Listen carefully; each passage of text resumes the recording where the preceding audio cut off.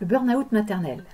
On peut en sortir et être même mieux après que l'état que l'on pouvait avoir avant. Bonjour, je suis Marie-Christine Eustache. Je suis l'auteur de ce livre, Le burn-out maternel, comment j'en suis sortie.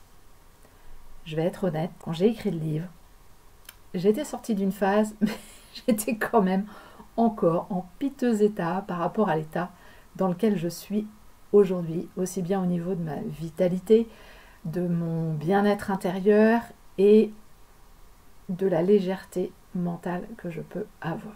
Le burn-out maternel, déjà, ce qu'il faut savoir, c'est que c'est un état passager. Maintenant, il va s'installer et même se dégrader si vous ne mettez pas tout ce qu'il faut faire pour en sortir et surtout comprendre ce qui vous arrive. Car c'est tout un mécanisme, en fait, c'est tout un enchevêtrement d'événements qui font qu'à un moment, bah, ça, plus ça, plus ça, plus ça, plus ça, plus ça, plus ça, et bah, on est la tête sous l'eau.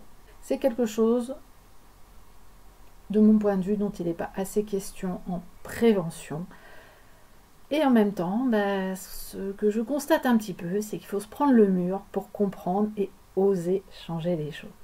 Je vais refaire d'autres vidéos un petit peu sur le sujet pour détailler. Il y a plein de vidéos que je mets en lien dans la description, puisqu'il y a plein de choses que j'ai déjà partagées par le passé. Vous pourrez constater d'ailleurs que j'avais pas du tout la même énergie. Bon, le fond reste le même, mais c'est vrai que l'énergie est quand même bien différente. Je vous dis à bientôt